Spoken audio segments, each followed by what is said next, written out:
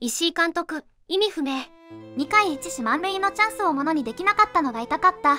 それは相手があることなので、もちろんヒットを打てたら大きいですけど、ヒットを打つことはすごく難しい。コンビニでおにぎりを買っておけばお腹が空かなかったというのとわけが違う。一生懸命粘って粘って、いいアプローチしてくれたと思います。おにぎりを買うのは簡単やからな。ちょっと何言ってるかわかんない。ふむ。ではおにぎりを買うというのはどうだろう。よく考えたけどわからんかった場合はファンの中では珍しく石井肯定派だけどこれは擁護できん。立浪の悪口はやめろ。おにぎりは準備しておけばお腹を満たす確率は100%だが、ヒットを打つのはそんな簡単な話ではない。頭悪いくせにそれっぽいこと言おうとするなや。コンビニで買うのは自分で動けばできるけどチャンスで打つのは防ごうとする相手もいるわけで同じようにできるものじゃないってことやろ。相手あってのスポーツってことよ。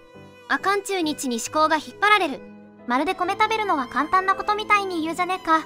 最近話題の米煽りに乗っかろうとして失敗したれ。立浪はおにぎりは OK なんだが。